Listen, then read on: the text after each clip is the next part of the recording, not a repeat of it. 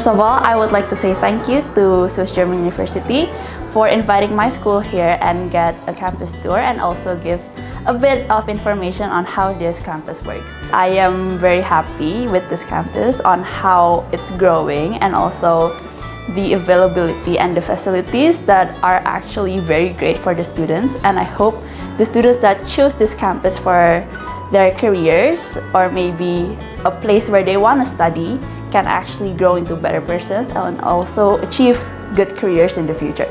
Today we have an opportunity to come to SGU campus and at this place our students learn a lot of things and even they have a very fun activity with all the lecturer here.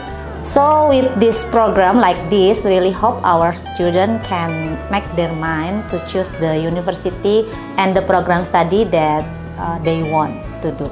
Thank you so much.